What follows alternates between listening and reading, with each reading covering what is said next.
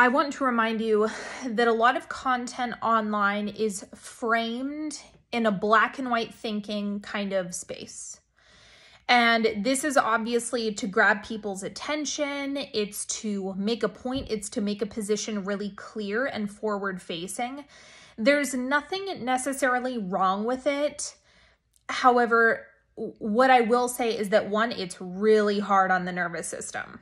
If you're if you're receiving a whole bunch of conflicting information, black and white perspectives, lack of nuance, it's stressful it is so stressful. It puts your body in this position to feel like I need to pick a side or am I doing something wrong? Or it, it just is perpetually keeping you in this state of I could be doing something bad or wrong or questioning yourself.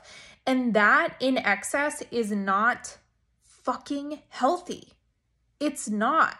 Consuming this much information at such a rapid pace with such extreme framing and extreme perspectives, it's a lot. Like, I just want to acknowledge that for all of you. And let's be honest here. When is that ever legit? When is black and white thinking ever true?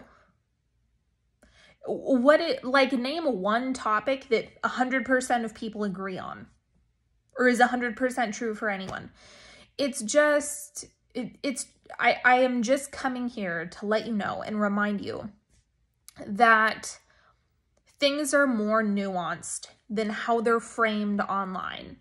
And a lot of the time, people start with that extreme attention grabbing, you know, strategy, but it does not make it ultimately true. And one of the things that I've been seeing quite a bit online lately has been the idea that you are either on the side of therapy and psychology and being trauma informed, don't even get me started on that, or you're on the side of energetics and spirituality and manifestation, and there can be no overlap, no overlap allowed. If you engage in the law of attraction at all, you are blah, blah, blah. You know, it's just like, can you feel how how like it it feels like a tightening in my chest. It feels like stress. It feels like this finger pointing witch hunt energy. And that's what black and white thinking does. And I want to remind you that things are nuanced. Life is complicated.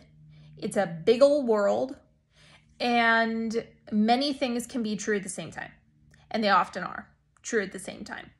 You can have a lot of different things, a lot of conflicting things can be true at the same time. And we live in a really complicated world. So just remember that.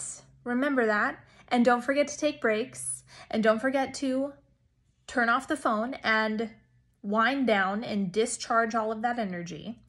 And uh, we will adapt to this thing called technology and get in Apex for the love of God.